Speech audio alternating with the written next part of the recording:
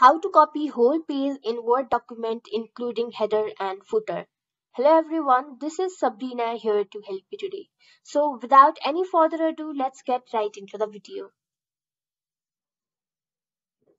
So first, select a little bit of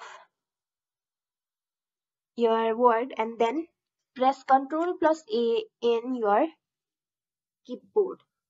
After that, simply press on Ctrl plus C or you can also right click and then have the copy option.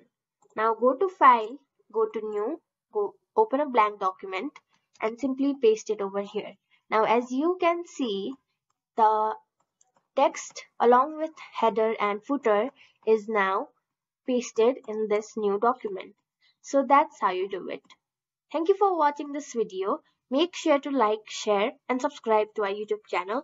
If you got any questions, comment them down and I'll get you in the next one.